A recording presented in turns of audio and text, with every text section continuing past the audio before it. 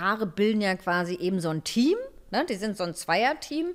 Wir gegen den Rest der Welt. So und auch also so, ein, so, eine Verteidigungsbasis gegen den Rest der Welt. Und wenn auf einmal der dann was Verletzendes sagt, dann ist es natürlich für mich viel, viel schlimmer und, und geht eben an die Sicherheit, als wenn das jemand anders sagt.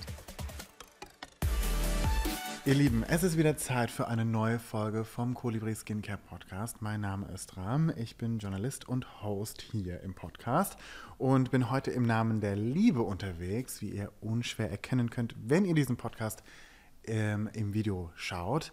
Es sitzt aber vor mir eine Frau, die das schon viel länger und viel besser macht als ich. Das ist Birgit Feest. Ihr kennt sie vielleicht und hoffentlich von TikTok. Ich weiß von vielen Leuten, dass sie ganz viel Angst vor deinen Videos haben, weil sie dann so viel Konfrontation mit sich selber haben. Aber sie können auch nicht so richtig wegschauen. Und ich will mir heute die volle Dröhnung geben. Wir werden heute erfahren, wie man sich in einer Beziehung schön fühlen kann, wer dafür verantwortlich ist, dass ich mich in meiner Beziehung schön fühle und wir werden außerdem den heißen Tipp dafür bekommen, ab wann eine Beziehung wirklich eine Beziehung ist, in der man erkennen kann, welches Paarverhalten und welches Beziehungsmuster die andere Person hat. Vielen Dank, dass du da bist, Birgit. Kram, ich freue mich auch total, weil wir kennen uns ja jetzt auch schon ein bisschen länger. Genau. Und ich freue mich total, dass du mir jetzt hier gegenüber sitzt. Immer wenn ich in einer Beziehung bin, habe ich das Gefühl, dass ich bezüglich meines Aussehens, meiner Stärken, meiner Schwächen, egal was es ist, immer noch so mal ein bisschen schwacher bin oder unsicherer bin, als es ist, wenn ich nicht mit jemandem irgendwie close bin. Woran liegt das? Das ist eine sehr gute Frage, weil jeder ist unterschiedlich. Ich weiß nicht, woran es bei dir liegt, aber es kann natürlich auch sein, dass am Anfang, das ist ja noch alles so ohne Commitment ne, und das ist noch alles total locker. Und wenn es dann ein bisschen ernster wird, dann geht es ja um was. Und das kann sich dann auf quasi die ganze Person dann auch übertragen. Genau, weil ich denke mir immer so, wenn ich dann auf ein Date gehe und einen Pickel habe oder wenn ich dann mal auf der Arbeit irgendwie eine schlechte Erfahrung gemacht habe, dann ähm, betrifft mich das irgendwie in dieser Situation noch mehr, als wenn ich nicht gerade irgendwie jemanden date oder intimate bin. Woran liegt es, dass ich dann verwundbarer bin? Naja, also wenn du nur ganz alleine mit dir zu Hause bist und guckst vielleicht nur mal in den Spiegel und so, da, da bist du ja quasi deine einzige Ansprechperson. Ne? Aber wenn da jemand anders ist, der könnte dich ja bewerten. Hm. Und dieses bewertet werden, da haben wirklich ganz viele so, so ein kleines Problemchen mit. Und zwar wirklich total unabhängig vom Aussehen. Also was, was ich total spannend finde in der Praxis, sind die, die am unsichersten sind, die Models die wirklich richtig klasse aussehen. Das sind die, die auch wirklich am meisten Probleme mit ihrem Aussehen haben. Und ich frage mich halt, ist es meine Verantwortung, muss ich sicherer werden, wenn ich date? Oder hat die andere Person auch so eine gewisse Verantwortung dafür, dass ich mich schön fühle. Wer ist da verantwortlich für? Also wir haben ja schon immer Dynamiken. Ne? In, in Beziehungen und auch in der Datingphase geht es ja immer um zwei Menschen. Aber ich würde tatsächlich auch nochmal unterscheiden zwischen Datingphase, also ich treffe jemanden das erste Mal, zweite Mal, dritte Mal oder in einer Beziehung. Das ist auch echt nochmal ein Unterschied. Ganz ehrlich, in der Datingphase, wenn ich jemanden das erste Mal treffe, zweite oder dritte, danach wird es ja dann langsam ein bisschen interessanter. Ey, da würde ich auf mich selber achten, beziehungsweise ich würde einfach nur na, lass mich das anders formulieren. Ich würde einfach nur gucken, dass ich Spaß habe und ich würde einfach nur gucken, ob ich mit dem anderen irgendwie kompatibel bin. Da gibt es noch überhaupt gar keine Verantwortlichkeiten, äh, äh, äh, na, was das Aussehen betrifft oder sonst was. Da geht es echt darum, den anderen mal kurz abzuchecken. Mhm. Geht es uns gut? Und äh, da ist es gut, wenn ich mir im Spiegel gefalle. Ob de dem anderen das gefällt, ist da noch eigentlich total egal. Und ich finde, es geht sowieso darum, wie ich mir im Spiegel gefalle. Das ist das Wichtigste. Wenn ich da auf so ein Date gehe, dann will ich ja, dass man mir Komplimente macht und dass mir jemand sagt, boah, das sieht gut aus oder das ähm, habe ich irgendwie heute schön angezogen. Und wenn das nicht kommt, dann bin ich ja nochmal verunsichert. Und das ist ja nur erstmal die Dating-Phase. Da ist ja auch schon so eine gewisse Erwartungshaltung. Aber ist das dann oft so, also wenn du so mal zurückblickst auf deine zahlreiche Dating-Erfahrung, dass du wirklich gleich auch am Anfang Unterstellung. Gleich am Anfang tatsächlich erste, zweite Date, da wirklich so richtig verbale Komplimente dann auch kommen. Du siehst ich mache das. So? Ich mache das. Ach, du machst das dann? Ich mache das schon. Es ist, glaube ich, so, so ein bisschen auch ein Angeln, vielleicht Fishing for Compliments. Ähm, aber ich, ich früher habe ich das nicht gemacht, aber jetzt denke ich mir so, wenn mir doch etwas Schönes auffällt bei jemandem, dann sage ich das. und versuche auch, glaube ich, so ein bisschen das Eis zu brechen damit. Manchmal habe ich das Gefühl, das Eis wird davon nur noch härter, weil die Person das Gefühl hat, das ist mir zu nah. Aber gleichzeitig ist es mir wichtig, dass die andere Person das Gefühl hat, ähm, ich mache hier etwas, was irgendwie gut für uns beide sein soll und wir wollen Spaß haben. Und dazu zählen halt irgendwie Komplimente, oder? Ist doch ein gutes Gefühl. Das ist total süß und ich glaube, es ist eher außergewöhnlich. Also ich kann mich echt nicht dran erinnern. Äh, das ist auch schon eine Weile her, aber bei den ersten Dates irgendwie wirklich Komplimente bekommen zu haben, ehrlich gesagt. Also ist schön, aber ich glaube tatsächlich, dass, ähm, dass das meistens gar nicht so ist und deswegen, dass die Leute ein bisschen verunsichert. Was will der denn jetzt von mir? Richtig, und ich Oder? wundere mich halt jedes Mal, wenn ich keine Komplimente bekomme, so bin ich so hässlich, ja, dass ja. du das nicht sagst. Ja, aber da brauchst du dann wirklich die Bestätigung von anderen. Aber du brauchst sie vielleicht auch, weil du die selber auch bereit bist zu geben. Also man muss mal sagen, hier in Deutschland sind wir auch keine äh, Lobkultur ja. oder Komplimentkultur. Das gehört einfach oftmals irgendwie gar nicht so dazu. Also ähm, auch so Worte als Liebessprache oder Worte als, als äh, ne, Zeichen von Anerkennung, da sind wir nicht so weit vorne dabei, muss ich mal sagen. Ja? Und dabei ist es total schade, weil eigentlich ist es total schön, sich das auch mal gegenseitig zu sagen.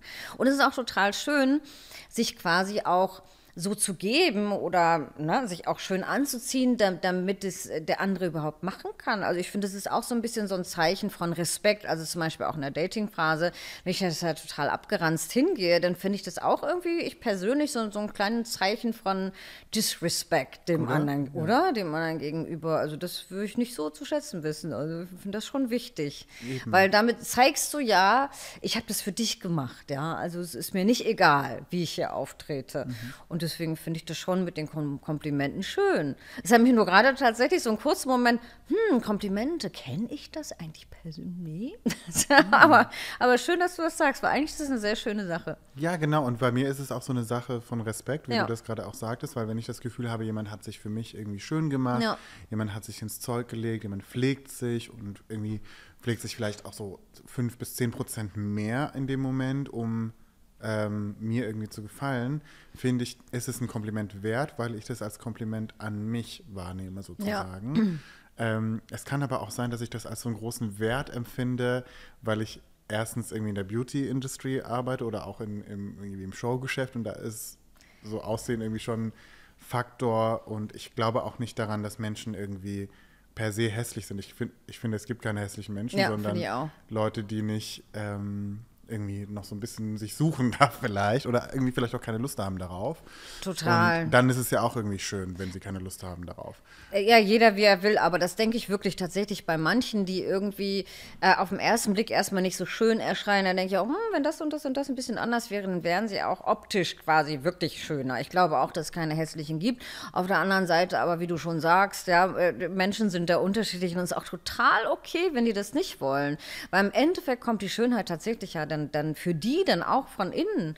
Und auch, äh, und wie ich vorhin auch schon gesagt habe, ja, also es sind echt die Models, die die größten Komplexe haben, weil die nämlich nur durch die äußere Schönheit definiert werden. Mhm. Ähm, und, und wenn die da mal irgendwie ein Kilo zu viel auf den Hüften haben, was für Normalsterbliche immer noch mega dünn wäre, dann, dann kriegen die da vollen Anschiss und, und fühlen sich gleich total fett und hässlich, während das für den Otto-Normalverbraucher immer noch wirklich grandios schön wäre. Also das ist, kommt, deswegen kommt, es kommt so auf den Kontext an. Ich habe das Gefühl, wenn man Komplimente bekommt dafür, dass man vor allem schön aussieht, das ist ja auch irgendwo eine Währung beim äh, Daten, steigert das ja das Selbstbewusstsein. Und ich würde von mir zum Beispiel nicht behaupten, dass ich nicht so wirklich selbstbewusst bin. Ich meine, ich sitze heute hier, ich habe irgendwie schon den einen oder anderen Job gemacht, ähm, in dem es auch irgendwie darum geht, schön zu sein. Aber sobald es irgendwie in eine Dating-Situation kommt, ist mein Selbstbewusstsein weg. Ähm, ist es mein Problem oder ist es das Problem der anderen Person, dass sie mir nicht oft genug sagt, dass ich schön bin? Ja, aber das ist dein Problem tatsächlich und nicht das vom anderen, weil wenn du wirklich so die Validierung von, von außen brauchst, mhm äh, dann ist es tatsächlich eher dein Thema und nicht das der anderen. Weil du kannst dich fragen, warum brauchst du das denn von denen? Du weißt doch, dass du schön bist. Wenn du ins Spiegel guckst, dann, dann fühlst du dich doch gut und brauchst du das nicht unbedingt vom anderen zu hören. Es ist schön, das zu hören. Aber es ist ja tatsächlich so, dass viele vielleicht gar nicht auf die Idee kommen, da Komplimente zu geben, weil sie es einfach nicht gewohnt sind, das zu tun. Aber das heißt ja nicht, dass du nicht schön aussiehst. Das heißt einfach nur, dass diejenigen vielleicht verbal nicht so trainiert sind, Komplimente zu geben. Aber es kann total sein, dass sie dich trotzdem mega schön finden. Aber was ist denn mit so einer Situation, in der ich mir denke, okay, hier brauche ich irgendwie Unterstützung. Das muss jetzt nicht unbedingt Aussehen sein oder was anderes, was mich verunsichert vielleicht. Und ist es dann auch wirklich nur bei mir oder sollte der, die Partnerin vielleicht da auch irgendwie für arbeiten, dass ich mich besser fühle? Wenn du schon ein Paar bist, dann hast du ja quasi Paarprobleme. Und Paarprobleme heißt ja, dass das irgendwie schon eine, eine keine, nicht, nicht die Psychodynamik unbedingt ist, sondern die Paardynamik. Und da muss man gucken, was genau ist das Problem? Ist es ein Problem der Paardynamik oder ist es ein Problem von dir selbst? Also es gibt auch tatsächlich so Lernfelder innerhalb einer Beziehung, die eigentlich eher dein Thema sind und es gibt Lernfelder innerhalb der Beziehung, die ein, ein Dynamik-Thema darstellen. Und da muss man dann mal gucken, was von beiden ist es dann. Aber gut ist es trotzdem immer, also auch wenn ich ein Problem habe mit mir, dass der andere auch durchaus unterstützend dabei sein kann. Ja. Das ist schon so. Was wäre denn eine Möglichkeit, seine eigene Unsicherheit anzusprechen. Wie könnte dein Partner oder deine Partnerin dich dabei unterstützen? Es ist immer total schön, sich verletzbar zeigen zu dürfen. Also wirklich zu sagen, wie fühle ich mich und womit habe ich ein Problem. So, und dann, wenn du den, den falschen in Häkchen Partner hast, dann wird er dich dadurch auch verletzen. Wenn du dich verletzbar machst, hast du den richtigen Partner, dann ist er emotional verfügbar und ist gewillt, dir zuzuhören. Und das ist toll. Du darfst dann sagen, was dein Problem ist oder deine Unsicherheiten sind. Und der andere macht dich nicht nieder dafür, sondern hört sich das an und guckt auch, wie er dich dabei unterstützen kann. Und das ist so mega, mega, mega toll. Und so sollte es in einer Beziehung auch tatsächlich sein. Kennst du das so oder, oder kennst du es auch andersrum, dass du dich dann wirklich mal echt offen gezeigt hast und hast auch noch einen auf den Deckel gekriegt? Dafür? Openly speaking, ich kenne das ähm, aus meiner Vergangenheit so, dass das nicht so war. Und ähm, zum Beispiel auch irgendwie aus familiären Hintergründen. Ne? Also wir sind ja irgendwie alle unterschiedlich emotional reif, würde ich jetzt mal so behaupten. Und da war es immer so, dass wenn ich irgendwie eine Unsicherheit angesprochen habe, dass das ganz schnell wegrationalisiert wurde. Ja. Und habe dann auch dann selber angefangen, meine Unsicherheiten schnell wegrationalisieren, auch wenn ich jetzt in einer Beziehung bin und dann unsicher darüber bin, ob ich schön bin oder nicht, dann denke ich eher darum, naja, ich habe ja irgendwie schon es war mit meinem Aussehen irgendwo hingebracht oder ähm, macht eine Kampagne, weißt du, was ich meine? Und dann rationalisiere ich das und gucke irgendwie auf meine ähm, Rechnung, die ich geschrieben habe, aus meinem Aussehen heraus. Und dann rationalisiere ich das, aber sobald ich irgendwie merke, es wird eine gewisse Nähe aufgebaut, ähm, dann bin ich selber eher unsicher, über diese Unsicherheit zu sprechen, als dass mir das vom Gegenüber ähm, verübelt wird. Das ist ja auch mega schwer und das ist ja auch nichts, was wir äh, zu Hause meist gelernt haben. Also die wenigsten da, da haben das zu Hause mit den Eltern irgendwie trainieren können. Und das ist wirklich das, was die Eltern den Kindern am meisten mitgeben können eigentlich, dass sie sich total verletzlich zeigen dürfen und dass sie über Konflikte reden können und die handeln können und so. Die meisten machen, lernen es zu Hause einfach nicht. Und deswegen haben sie als Erwachsene auch Schwierigkeiten damit. Aber ich sage dir, das ist so schön, in einer Beziehung wirklich authentisch sein zu dürfen. Also wirklich über die Unsicherheiten sp sprechen zu können.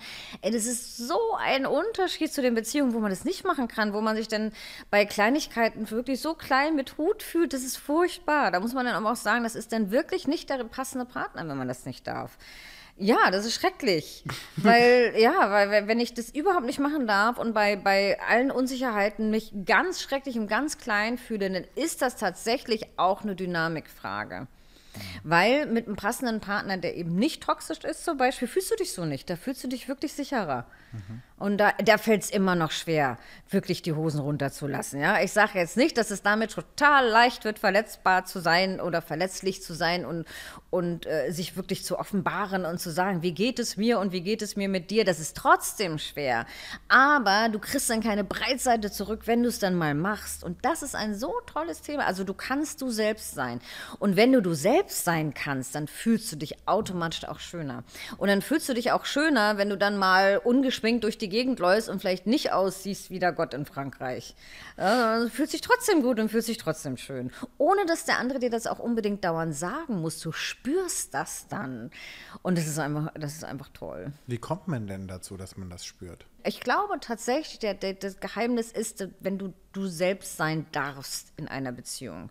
Und dafür musst du aber erstmal einen Partner haben, bei dem du das Gefühl hast, du darfst du selbst sein. Und da kann man natürlich sagen, da gibt es jetzt kein Rezept für. Das heißt einfach nur, wenn man zum Beispiel dazu neigt, toxische Partner anzuziehen, Narzissten, Borderliner und ähnliches, da wirst du niemals du selbst sein können. Niemals. Mhm. Sondern da wirst du dann immer abgewertet werden. Du wirst quasi, du wirst benutzt, um die zu erhöhen. Mhm. Und damit darfst du aber nicht du selbst sein. Und dann fühlst du dich wirklich immer klein in der Beziehung. Und das ist deswegen auch schon ein guter Faktor. Wenn du dich immer klein in der Beziehung fühlst, solltest du mal die Beziehung überdenken. Und nicht dieses, dieses Gaslighting, ja, und nicht denken, oh, ich bin aber völlig inkompetent, hässlich und doof. Weil das ist meistens nicht der Fall, sondern das ist einfach das Gefühl, was du vom anderen bekommst. Und allein wenn du vom anderen so ein Gefühl bekommst, dann ist da irgendein Thema zu, zugange. Da, da musst du näher hingucken oder solltest du näher hingucken. Was sind denn so konkrete Red Flags, wo du sagst, okay, diese Beziehung wird dich ganz klein machen? Also Abwertung auf jeden Fall, wenn der andere dich abwertet, wenn da ständig irgendwelche komischen ähm, Explosionen stattfinden und du dann äh, sozusagen sowas gesagt bekommst wie, was stimmt mit dir nicht? Oder, na, oder, nee, da bist du ja schuld dran und nicht ich. Das sind totale Red Flags. Also wenn, wenn du dich tatsächlich klein betrut und immer schuldig fühlst, weil der andere dir das sagt, das ist ein mega, mega Red Flag. Mhm. Und übrigens ist so ein, so ein Red Flag aber auch, und deswegen ist es das interessant, dass du gesagt hast, du möchtest äh, Komplimente bekommen und, und das hören. Das ist oftmals ein Red Flag. Ja, mhm. wenn jemand am Anfang Lovebombing betreibt. Das heißt, er kennt dich eigentlich noch gar nicht so richtig, aber haut dich mit Komplimenten zu. Das ist doch nicht wirklich ein tiefes Interesse. Das sind oberflächliche Komplimente. Das ist ja nicht wirklich Interesse an dir, sondern das ist Lovebombing. Du wirst da richtig zu und dass du dann da so, oh ja, will ich. So, ne? Und, und hinterher, wenn er dich dann am Haken hat, dann gute Nacht. So, und deswegen Achtung, Achtung, Achtung, ja, weil zu viele Komplimente am Anfang, die auch nicht wirklich authentisch sind, sondern die extrem oberflächlich sind, das ist gar nicht gut, das ist ein Red hm. Flag. Also nur um das für mich zu disclaimen, ich mache keine Komplimente dieser Art. Meine Komplimente sind sehr authentisch, meiner Meinung nach, aber ich mache auch nicht zu viele, ähm, weil ich ja auch gemerkt habe, das verunsichert Leute ja. und das liegt auch irgendwie an der Kultur, ja. ähm, weil wir das nicht so gewohnt sind. Aber was ich immer so sage, ist so irgendwie, keine Ahnung, ein Kompliment eingangs ja. und dann reicht es, glaube ich, auch, nur um die Stimmung zu lockern. Ich glaube, das ist eher sowas. Ja. ja. Ich meinte auch eher tatsächlich umgekehrt, ne? weil du gesagt hast, du möchtest auch, dass dir jemand ja. Komplimente macht. Da muss ich sagen, mm, passt mal auf, nicht zu viele. Das könnte Gleichzeitig schon wieder ist es, es ist total interessant, dass du das sagst, weil wenn mir jemand dann zu viele Komplimente macht oder ein mehr als was ich erwartet habe, bin ich auch total verunsichert und denke mir so, oh, ey, muss ich aber ganz schnell raus. Ja, ja, ja, ja. Weil, weil die wollen dann ganz schnell einen Haken haben. Ja. Und dann, ja. aber wenn, wenn du am Haken bist, dann sieht es wieder ganz anders aus. Ja? Da kommen dann die Abwertungen. Das ist wirklich gefährlich. Aber das mhm. ist halt, ich meine, das Ding ist, es fühlt sich natürlich dann trotzdem so, so, sagen wir mal, in den ersten drei Monaten, es fühlt sich natürlich trotzdem toll an, wie der King oder die Queen bewundert zu werden und ganz viele Komplimente zu hören. Das kann sich auch wirklich toll anfühlen. Mhm. Aber Achtung, Achtung, Achtung, ne? das kann echt Lovebombing sein. Und das ist total oberflächlich. Das ist kein ernsthaftes Interesse an dir. Das Kannst du kurz erklären, was Lovebombing bedeutet? Also Lovebombing bedeutet tatsächlich, dass viele Narzissten oder auch Menschen mit vermeidendem Bindungsstil am Anfang dich wirklich über überschütten mit Äußerungen, mit Komplimenten. Du fühlst dich quasi wirklich so Soulmate-Vibes, King, Queen vom Feist und denkst so, mm. so, und dann kannst du aber, die machen das quasi tatsächlich am Anfang, um dich echt so ganz schnell an Haken zu kriegen und du bist du da und dann, und wenn du dann da bist, so, so, hier bin ich, oh toll und sofort heiraten, finde ich super, mhm. ähm, dann brauchen sie das nicht mehr und dann quasi lassen sie das und dann kann es auch echt mit den, tatsächlich mit Abwertungen anfangen, so langsam und mit Schuldzuweisungen und sonst was, wo alle denken so, bin ich hier im falschen Film? Ich will das wieder so haben wie in den ersten drei Total. Monaten. Also ich meine, ich kenne das auch. Das ist wirklich so, dass du hinterher denkst, auch nach einem Jahr oder so, oh Gott, die ersten drei Monate, das war so toll. Und dann muss man sagen, nein, die war nicht authentisch, das war Lovebombing, das war nicht echt. Und wenn das jemand so extrem betreibt am Anfang, aber eben, also, also immer, ja, aber es kann auch trotzdem schön sein mit Komplimenten und so. Und da, da sage ich dann immer, der Unterschied ist, diese Komplimente sind authentisch. Das ist das, was du vorhin auch gesagt hast. Du gibst dann authentische Komplimente, die wirklich ernst gemeint sind. Das ist was anderes. Aber wenn jemand wirklich so die Komplimente wie so, ein, so, ein, so, ein, so eine Milchkanne über dich ausschüttet, ja, wo du denkst, das hat eigentlich mit mir gar nichts zu tun, sondern einfach mal so, so pauschal aussagen, ohne dass jemand dich wirklich richtig kennenlernen will, das ist dann Lovebombing. Und da muss man wirklich aufpassen, weil es kann sich ja trotzdem toll anfühlen, aber es ist nicht echt. Das ist nicht echt und das Ende ist meist dicke. Wir haben aber gerade darüber gesprochen, dass es bestimmte Red Flags gibt. Nun mal sind ja nicht immer alle Menschen sofort in Red Flags einzuteilen. Es kann, also was ich auch, wo ich auch die Gefahr sehe, dass Menschen sich gar nicht so auf andere Leute einlassen, weil die denken, boah, das ist ein Ick, das ist eine Red Flag und dann wird sofort abgeblockt. Ja. Das ja. finde ich immer ganz schade. Und die Frage ist, wie kann ich denn zum Beispiel auf der anderen Seite, wenn jemand unsicher ist, diese Unsicherheit auf eine authentische Art und Weise halten, ohne zu wirken wie ein Red Flag? Du kannst nachfragen, du kannst dich wirklich interessieren für denjenigen und du kannst auch zuhören. Hm dann bist du ein Green Flag, wenn du wirklich interessiert bist an jemandem und, und eben nicht nur oberflächlich, sondern wirklich wissen möchtest. Also auch wenn du Unsicherheiten bemerkst, ich würde jetzt nicht sofort, oh, du bist ja so unsicher, woher kommt das? Das würde ich jetzt auch nicht machen. Ähm, aber ich kann ja den anderen beobachten. Ich kann ja wirklich genauer hingucken und wenn ich merke, da sind, der, der auf einmal, ja, erscheint der andere total unsicher, dann kann ich ja vielleicht auch einen Gang zurücknehmen und so. Also mhm. es geht wirklich darum, beim anderen auch zu sein und da ja. wirklich mal hinzugucken, also nicht drauf zu achten, oh, wie muss ich mich jetzt geben? Muss ich jetzt irgendwas vorspielen oder muss ich etwas sein, sondern tatsächlich beim anderen zu sein und einfach wirklich aktiv zuzuhören, was hat denn der zu erzählen und interessiert zu sein. Weil im Endeffekt ist ja sowieso, ich meine, es dauert ja ein bisschen länger als ein Date, um rauszufinden, ob du denjenigen auch näher kennenlernen willst. Also musst du da auch schon hinhören. Aber du hast auch recht mit den, mit den Red Flags. Äh, jeder ist unterschiedlich. Ne? Und es ist auch nicht jeder Narzisst. Mancher, mancher ist einfach nur ein Arschloch, kommt auch vor. und mancher hat vielleicht auch äh, sozusagen Red Flags aus Unsicherheit am Anfang. Es gibt zum Beispiel auch Menschen, die reden einfach wie ein Wasserfall aus Unsicherheit hm. und so. Ne? Und sind auch sehr bei sich aus Unsicherheit, weil sie gar nicht wissen, wie sie beim anderen sein können. Und das ist dann nicht unbedingt ein Red Flag. Und äh, mich fragen tatsächlich ganz viele, oh, wie kann ich denn beim ersten Date erkennen, dass der andere ein Narzisst oder äh, ne, ähnlicher Idiot ist? Und und äh, kann dann sofort weglaufen. Dann sage ich immer, ich fürchte, da musst du dir schon ein bisschen länger Zeit geben. Also also erstens ist es auch so, dass viele ihr wahres Gesicht auch ein bisschen länger verstecken können. Und das muss noch nicht mal Absicht sein unbedingt, weil am Anfang will man sich ja auch von der besten Seite zeigen. Also mhm. äh, in den ersten paar Monaten ist man anders als danach. Das ist halt so. Und es muss nicht unbedingt immer eine Red Flag sein. Das kann auch wirklich äh, extreme Anstrengung sein. Also sage ich immer, mh, mm, also es, es, macht schon Sinn, sich vielleicht ein bisschen länger Zeit zu geben. Das ist eine Commitment-Frage. Es ist eine Commitment-Frage, aber ein bisschen länger Zeit zu geben. Dann aber, wenn man ganz ehrlich, niemand versteckt sein wahres Gesicht viel länger als drei Monate oder vielleicht ein bisschen länger, aber nach einem halben Jahr, allerspätestens bist du eigentlich im Bilde. Also wenn jemand sagt, oh nein, erst nach drei Jahren und so, da das glaube ich nicht. Du hast einfach nicht richtig hingeguckt oder du wusstest nicht, worauf du achten solltest. Hm. Manche sind dann einfach auch schon so am Haken, dass sie es zwar sehen, aber nicht wahrhaben wollen, weil das ja am Anfang so toll war mit dem Lovebombing und wenn du am Haken hängst und du fühlst dich so, mm, und dann kommen auf einmal so Abwertungen oder so am Anfang so, ach, das war ein Ausrutscher. Ach, der meint es doch gar nicht so. Ne? Und dann muss man sagen, ah, guck man da wirklich genauer das ganz hin. schnell am Anfang, ne? Ja, deswegen, der Anfang ist nicht real, aber sei gewillt später dann auch Nein sagen zu können, wenn du merkst, dass es echt toxisch wird. Verstehe. Aber mach das noch nicht nach einem dritten Date unbedingt. Aber äh, es sei denn, es sind so richtig krasse Red Flags. Ne? Also mhm. wenn da schon, also es gibt schon ein paar Sachen, wenn jemand zum Beispiel äh, drei Dates lang von den Exen erzählt, die natürlich an allem schuld sind, dann würde ich sagen, hm, da sind die Red Flags aber mal so rot, dass man tatsächlich so mal langsam die Wiege machen könnte, mhm. auch schon nach drei Dates. Aber ansonsten ist es oftmals so, dass man sich schon ein bisschen Zeit geben kann. Wir hatten ja auch vorhin inoffiziell darüber gesprochen, dass man eine gewisse Selbstreflexion haben muss. Also ich zum Beispiel weiß von mir, welche Red Flags mich anziehen. Ja. Und sobald ich merke, ja. das passt ins Muster. Bist du begeistert? Ja, genau. Ja.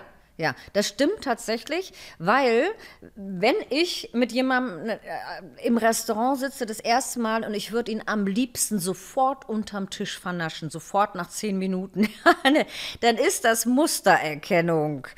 Und wenn ich ein gutes Muster habe, dann ist ja super. Aber wenn ich weiß, dass ich ein toxisches Muster habe, dann sollte ich sofort aufstehen und wegrennen. Also im übertragenen Sinne. Das wäre vielleicht, das jetzt wirklich zu tun, wäre vielleicht ein bisschen unhöflich.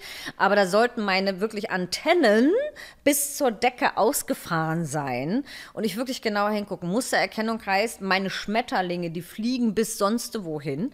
Und äh, das ist kein gutes Zeichen. Wenn das schon Flugsaurier nach zehn Minuten sind, ganz ehrlich, dann ist das echt ein Red Flag. Und zwar meins, da kann der andere gar nichts dafür. Aber ich habe in dem Moment wirklich Mustererkennung betrieben. Ah, oh, super, toxischer Typ nehme ich. Und äh, viele, die toxische Typen gewohnt sind, die erzählen mir dann, ja, und ich hatte dann auch ein Date mit einem, der war, der war so nett und der, ja, der war dann halt so langweilig. Mhm. Und ich so, ja, nimm den, nimm den. Ja, so. Oder da sage ich dann, da musst du manchmal auch ein bisschen aushalten, bleib einem. Also wenn du jetzt jemanden überhaupt nicht anziehen findest und, und wirklich sterbenslangweilig, gut, das ist vielleicht auch nicht der Richtige, ja, aber wenn du jemanden zumindest so 60 Prozent anziehen findest, die Chemie da passt, dann bleib bleib mal echt ein bisschen am Ball. Würdest du sagen, es gibt dieses Gefühl Schmetterlinge im Bauch gar nicht? Ja, genau, genau. Schmetterlinge im Bauch sind wirklich gefährlich. Also, sagen wir mal so. Schmetterlinge sind okay, aber Flugsaurier halt nicht. Das ist das, was ich vorhin dann tatsächlich meinte. Ne? Und die Schmetterlinge dürfen aber auch dann tatsächlich sich langsam aufbauen und die müssen eben noch nicht beim ersten Date so richtig mega doll da sein. Also ich sage nicht, dass man gar keine Schmetterlinge haben darf, sondern nur irgendwie ein langweiliges Gefühl im Bauch. Aber wenn, wenn du halt sofort so ein mega Schmetterlingsgefühl hast, dann ist das angstvolle Mustererkennung. Das ist tatsächlich nicht gut. Und das bedeutet auch, dass du währenddessen, du bist dann so, auch so, auch so zwischen den Dates, du bist so total aufgeregt. So richtig mega aufgeregt Krass. und kannst an nichts anderes mehr denken und du läufst wirklich wie so ein aufgeschrecktes Huhn durch die Gegend und sagen, mm, das ist eigentlich gar nicht so gut, weil was du willst, ist wirklich dieses Gefühl von, ach schön, ach sicher, toll.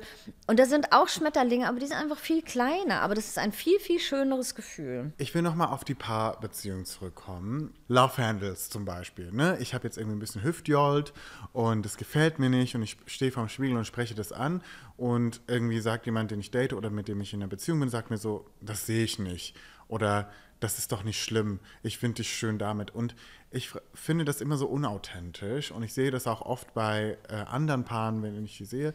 Und dann frage ich mich immer so, das ist doch irgendwie nicht das Richtige, was diese Person hören will. Idealerweise könnte man vielleicht sagen, also mich stört es nicht so, aber ich unterstütze dich gerne dabei, wenn du das weghaben möchtest. Hm. Das wäre vielleicht ganz schön, weil dann, dann hättest du trotzdem so eine Validierung. So, auch für mich ist es kein ausschlaggebendes Argument.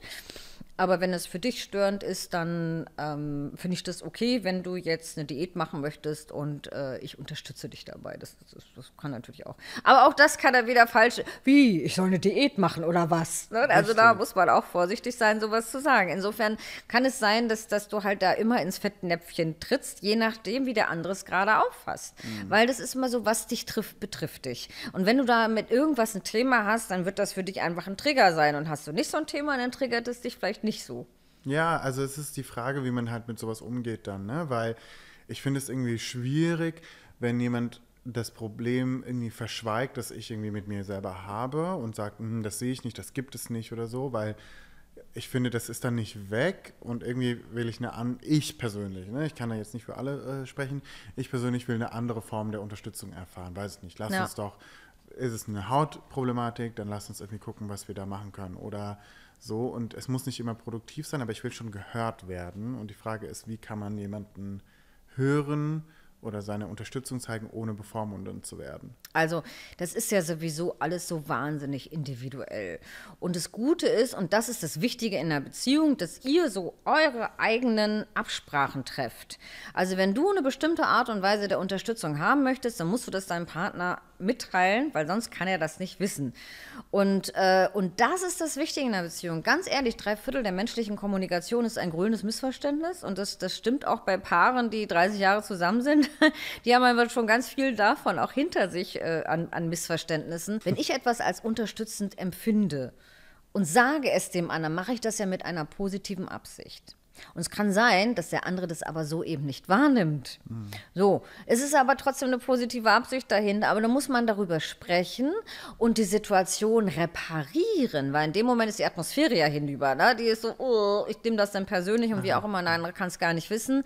So, und dann muss ich hinterher darüber sprechen, dass es in mir grummelt und ich muss das reparieren. Und dann kann ich sagen, ah, äh, ah, okay, das tut mir leid, das war gar nicht so gemeint, wie hättest du es denn gerne stattdessen? Mhm. Und dann kann man fürs nächste Mal das dann anders machen. Aber wirklich, das ist ganz individuell, weil jeder lebt ja so in seinem Universum. Also ich in meinem, du in deinem und die haben zwar Schnittmengen, aber trotzdem muss ich dich ja in deinem Universum verstehen lernen. Und da, da können manche Sachen total anders sein als in meinem. Und ich weiß es doch nicht von alleine.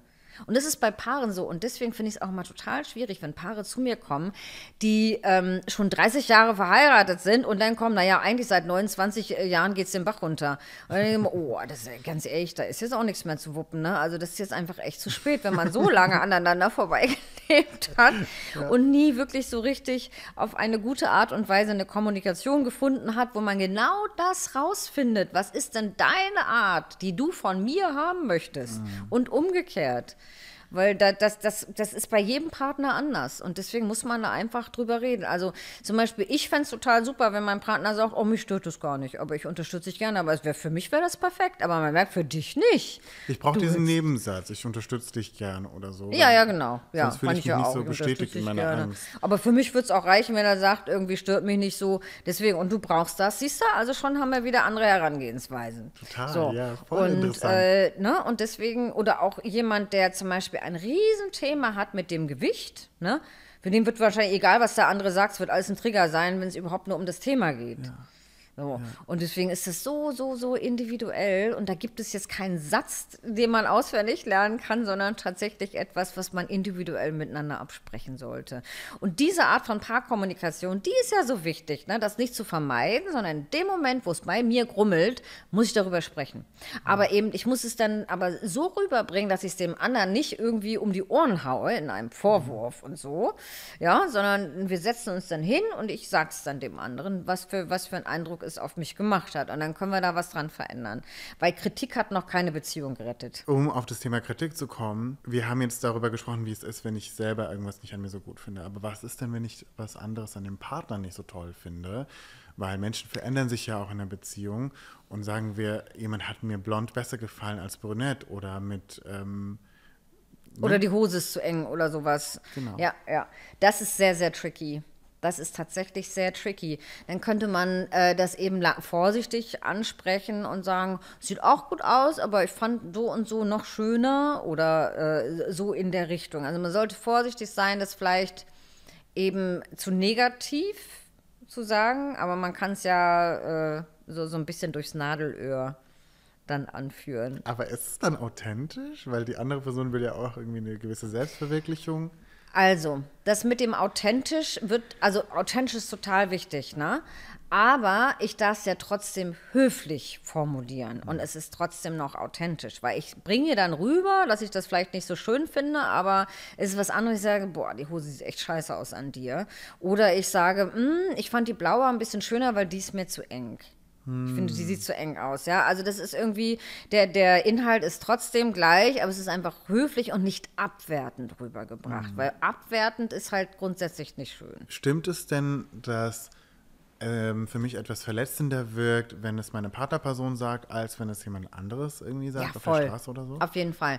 Weil mein Partner, zu meinem Partner habe ich eine total andere emotionale äh, Basis. Mhm. Weil zu jemand anders ist irgendwie, ja, das kann dann auch verletzend sein, aber mein Partner ist ja quasi meine Quelle an Sicherheit. Mhm.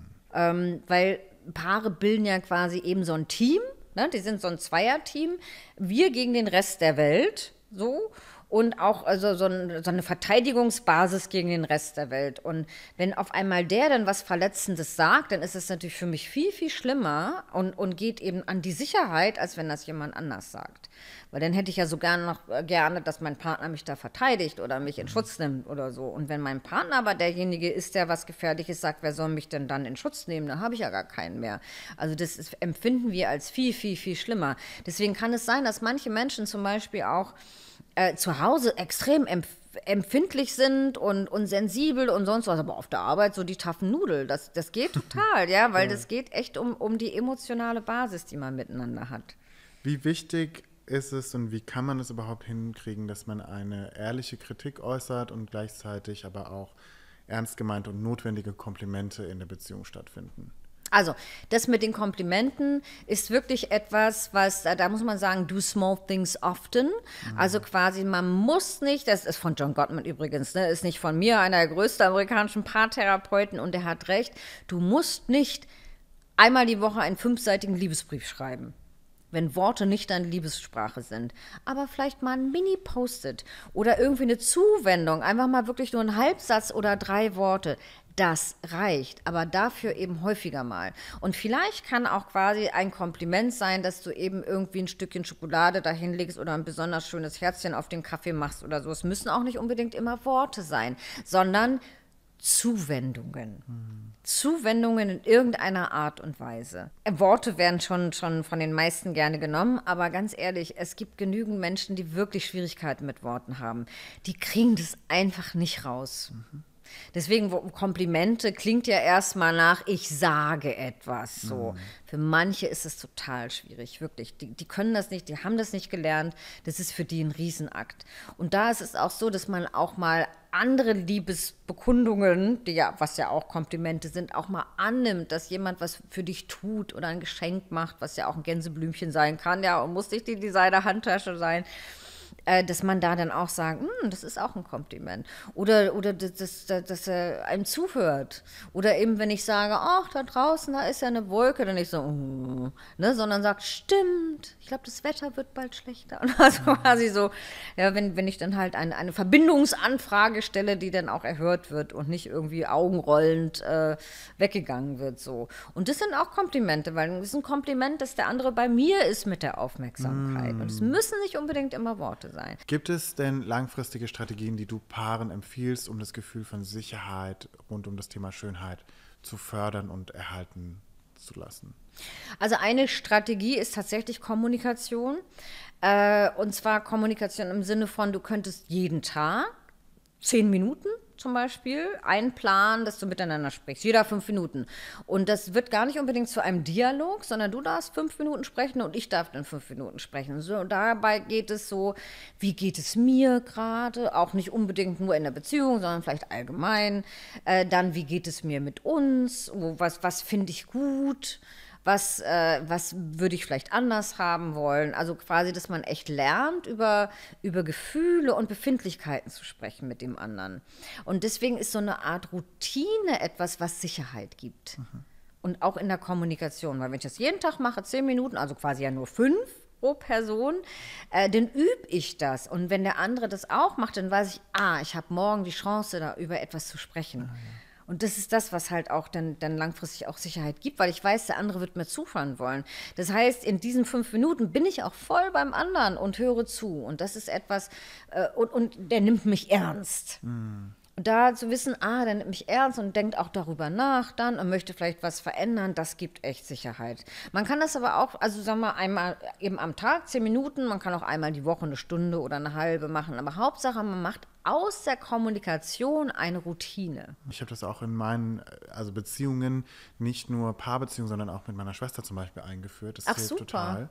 Ähm, weil es ähm, trennt sozusagen dieses Kopfzermatern über diese Beziehung ja. in einen oder isoliert das in so einen gewissen Zeitpunkt, damit ich mich nicht den ganzen Tag fragen muss, boah, sind genau. wir noch genau. befreundet, sind wir noch zusammen, mag die Person mich noch, sondern es ist nur in diesem Moment ja. und da kann ich das äußern und da auch direkt wieder entheben oder enthebeln. Ja. Das ist total gut, das ist ein sehr, sehr wichtiger Tipp. Und die, ähm, die, das sollte man auch einführen, sagen wir mal, wenn ich jetzt anfange zu daten, würde ich jetzt nicht dem Date ab Tag 1 sagen, übrigens, ab morgen. Ich würde warten, ja, das ist echt dann so, oh Gott, das könnte ihn vielleicht ein bisschen überfordern, ne? also warte dann noch. Ähm, ich würde damit anfangen, wenn die ersten Störungen auftreten. Ja. Also wenn es so lange, weil wenn alles noch super ist und es sind noch keine Störungen und eigentlich gibt es da noch nicht großartig äh, Themen, da noch nicht. Aber wenn das so langsam anfängt, dass da vielleicht irgendwie was grummelt und irgendwas nicht richtig funktioniert, ab dann. Das kann bei dem einen nach, äh, nach einem Monat tatsächlich sein und beim anderen vielleicht nach einem Jahr erst. Also äh, gibt, ne, da würde ich jetzt nicht, nicht sofort, aber in dem Moment, wo Störungen da sind und Störung bedeutet, bei mir grummelt etwas und es geht von alleine nicht weg, da kann man langsam mal anfangen, sowas äh, einzuführen. Mhm. Und auch am Anfang, da muss man vielleicht auch noch nicht jeden Tag und auch noch nicht so lange am Anfang vielleicht mal sagen, machen wir mal einmal die Woche zehn Minuten. Mhm. Und man kann sich dann langsam hochhangeln. Ne? Also ich würde jetzt nicht gleich so, sofort am Anfang einer Beziehung hier Stunde pro Woche oder jeden Tag ein Viertel oder so, das wäre zu viel. Mhm. Aber äh, gerade in einer Langzeitbeziehung ist es echt notwendig, weil ja für drei Viertel der menschlichen Kommunikation ein grünes Missverständnis ist. Mhm. Also, das, das habe ich mal in einer Coaching-Ausbildung gelernt. Ob das jetzt stimmt mit dem drei Viertel, weiß ich auch nicht. Aber im Endeffekt ist es tatsächlich so, dass ich höre ja etwas nach meiner eigenen Erfahrung und interpretiere das, was du gesagt hast. Das ist ja ein Fakt, das weiß man. Und wenn ich halt schlechte Erfahrungen habe, dann interpretiere ich deine Aussagen einfach mal anders, als wenn ich damit kein Thema habe. Mhm. Und deswegen ist einfach, ist, ist, kann man sagen, einfach mal viel der menschlichen Kommunikation, Paarkommunikation auch, ist ein Missverständnis und deswegen ist Kommunikation einfach wirklich zwingend notwendig. Ähm, ich höre oft, dass Leute einfach sagen, ja, Kommunikation ähm, kann ich total gut und ähm, ich bin super in der Kommunikation und dann erlebe ich die Leute äh, und denke mir so, mm, das, ja. ist, das ist aber nicht so. Und Hast du auch das Gefühl, dass das sehr oft missverstanden wird? Einfach nur sich selber ausdrücken zu können, ist nicht einfach Kommunikation? Absolut. Weil Kommunikation ist ja keine One-Way-Street. Also es gibt wirklich viele, die labern ohne Ende und erzählen über sich und der andere sitzt da und, und ratzt schon fast weg. Das ist keine Kommunikation. Weil, wenn du dich mal fragst, was ist denn das Ziel von Kommunikation? Um auf einen gemeinsamen Nenner zu kommen oder. Ja, so kann man es auch sagen. Verbindung. Ziel von Kommunikation ist Verbindung. Und wenn ja. ich jetzt die ganze Zeit quasi nur rumlabere, ja, und ich dich da vollspullere, Total. dann äh, ist mein Ziel nicht Verbindung. Ja. ja. Ich kannte tatsächlich mal einen, das war ganz schrecklich, da habe ich ein paar Mal getroffen, schon ganz lange her. Der hat wie ein Wasserfall geredet, wirklich. Ich habe quasi eigentlich gar nichts gesagt, nichts. Ich fand es so anstrengend, wirklich mhm. so anstrengend. Irgendwann hat er mir erzählt, das macht er immer, wenn er nervös ist irgendwie. Aber ich kannte den dann recht lange und, und äh, auch mit seiner Freundin dann. Und ich muss sagen, das war eigentlich immer so. Ich habe den gar niemals anders erlebt. Ich dachte, oh mein Gott, wie hält die das aus? Hm. Weil der war ja jetzt nicht dauernervös jahrelang, ne? aber das war schlimm, wirklich. Also du musst auf den anderen eingehen, sonst ist das keine Kommunikation, sonst ist es ein Monolog. Das, jetzt frage ich mich natürlich, wie das für dich als Paartherapeutin in deiner eigenen Beziehung ist. Ähm, da würdest du ja die ganze Zeit die Arbeit machen, um diese Beziehung zu verbessern. Ist das so? Nee. Weil ich merke das auch oft in meinen Freundschaften oder bei mir, dass ich immer sofort merke, wenn irgendwas nicht passt, weil ich irgendwie so informiert bin. Wir haben so lange zusammen gearbeitet. Ich habe mir ein paar Sachen bei dir abgeschaut. Ich bin sofort so, ah, m -m, das müssen wir ändern, weil das läuft irgendwie nicht. Und merke dann, dass ich total ausgelaugt bin davon. Ja, also sagen wir mal so, das ist so ein bisschen so ein zweischneidiges Schwert. Also auf der einen Seite manchmal natürlich schon, wenn ich bemerke, was das jetzt ist. Also ich habe zum Beispiel einen vermeidenden Bindungsziel und mein Freund hat einen vermeidenden Bindungsziel und äh, wüssten wir das nicht, dann würden wir über gar nichts sprechen, sondern würden Konflikte vermeiden. Dadurch, dass wir das aber wissen, haben wir dann unsere Mittel und Wege gefunden, gefunden, wie wir das halt doch hinkriegen. Das ist natürlich toll, weil das wüssten wir ohne dieses Wissen nicht. Und das ist schon mal total viel wert. Nichtsdestotrotz, ja, egal ob ich Paartherapeutin bin oder nicht, werde ich durch bestimmte Dinge natürlich trotzdem getriggert. Ja äh, wo ich dann irgendwie voll in so, ein, oh, in so meinen eigenen Film reinkomme. Und ich weiß dann zwar, wenn ich mich so ein bisschen von außen betrachte, oh, ich werde gerade getriggert, und so, aber ich werde es halt trotzdem. Das heißt, irgendein Thema triggert mich, das heißt, ich komme sofort in eine mega Emotion rein. Und das kann ich nicht verhindern, auch wenn ich weiß, warum und was dahinter steckt. Und deswegen, also da sind wir Menschen, äh, schon so gepolt, dass wir sehr instinktive Wesen sind, die aus Erfahrung fühlen und handeln und denken. Und da ist es auch egal, wie viel du da wirklich drüber weißt. Nichtsdestotrotz ist es so, dass das Wissen über viele Dinge wirklich Gold wert ist. Ganz ehrlich, wenn ich das alles nicht wüsste, dann wäre ich jetzt nicht in einer nicht toxischen Beziehung. Ja? Das ist endlich mal eine, weil ich neigte früher zu Narzissten, muss ich mal gestehen, um mal aus dem Nähkästchen zu plaudern. Und die habe ich dann auch irgendwann mal abgelegt. Und ich glaube, ohne dieses ganze Wissen darüber und auch ohne meine eigenen Muster zu hinterfragen, wäre es jetzt wahrscheinlich immer noch so. Ich finde, das ist ein sehr, sehr schönes Schlusswort, auch eine Paartherapeutin, die musste erstmal lernen, Beziehungen zu führen. Deswegen bin ich ja auch Paartherapeutin geworden, muss ich ganz ehrlich sagen. Das war, ist ja schon recht lange her. Und damals dachte ich, ey, das muss doch irgendwie zu lernen sein. Aber von alleine kriege ich es anscheinend nicht hin. Und äh, ich sage dir, man kann es tatsächlich lernen. Man braucht das Wissen, weil von alleine wissen wir das nicht. Weil wenn du mal so guckst, die Natur, was brauchen die? Die Natur will, dass du dich fortpflanzt. das war's. Ja. Mehr brauchst du eigentlich nicht. Und das können wir tatsächlich von Natur aus. Also wenn zwei kleine Kinder auf einer einsamen Insel stranden, wüssten die, wenn sie aufwachsen, dann irgendwann von ganz alleine, wie sie sich fortpflanzen. Mhm. Aber wie sie langfristig eine glückliche Beziehung führen können, das muss gelernt werden. Liebe ist Arbeit, Arbeit, Arbeit. Ja. Birgit, vielen Dank, dass du da warst. Ähm, ich habe das Gefühl, ähm, in der letzten Stunde ganz, ganz, ganz viel über mich selbst nochmal gelernt zu haben, obwohl ich das Gefühl hatte, ich wüsste alles. ähm, das hat mir sehr, sehr, sehr viel gebracht. Und ich glaube, es hat auch sehr, sehr vielen anderen Leuten was gebracht. Wenn ihr mitbekommen wollt, worüber wir sonst noch in diesem Podcast sprechen, dann könnt ihr euch unsere anderen Folgen anschauen. Und damit ihr Bescheid wisst, wenn eine neue Folge rauskommt, könnt ihr einfach hier unten abonnieren und außerdem noch die Glocke aktivieren.